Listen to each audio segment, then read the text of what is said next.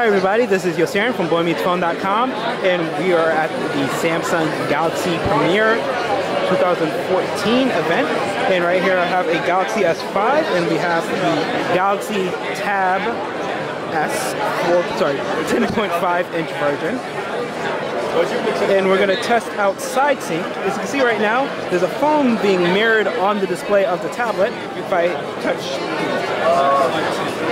the phone, you can see the phone is on. I'm to leave it on this page. And it's not being currently shown on the tablet. I hit the switch the tablet button, and it should show the exact display I left it on. You can see, that's the exact panel I had left it on. I do think this feature is pretty interesting. There's a little bit of lag, hopefully that will be worked out before it hits public.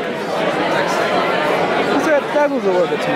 But it gives you complete access to your phone and all the content on it. I do like this. It allows you to not have to transfer everything you have on your phone to your tablet, but you do have the option of doing it by dragging and dropping. So if you're working on something on your phone and want to bring it over to your tablet or vice versa, that is totally possible.